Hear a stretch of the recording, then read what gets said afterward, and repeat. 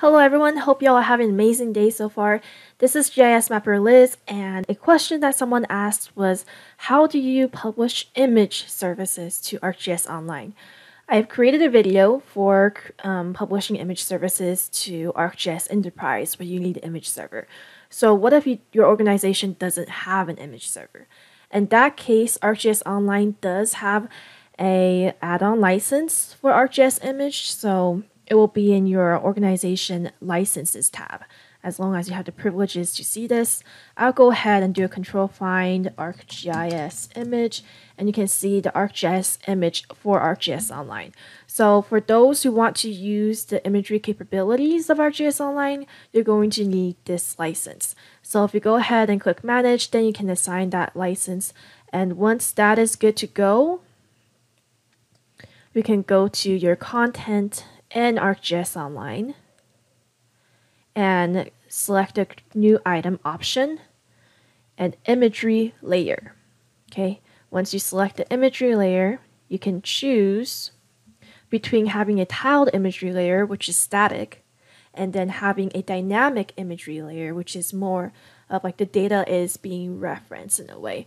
So it's going to be dynamic with any type of server processing, and it's not just pictures like it is for the tiled imagery layer. Next, we'll click, I'm going to use a one image. You can have mosaic image or you can have like multiple imagery layers. And then I'll go ahead and browse to my actual raster.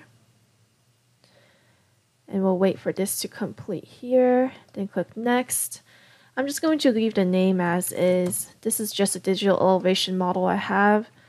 I'm just going to give it test, test, create.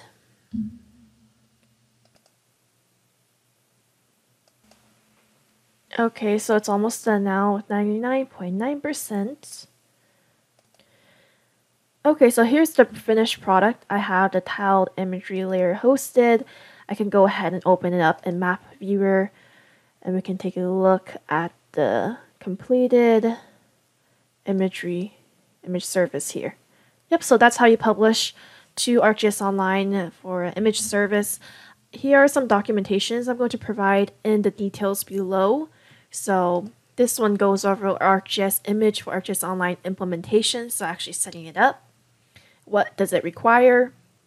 And then this documentation goes over getting to know the actual product and knowing ArcGIS image for ArcGIS Online.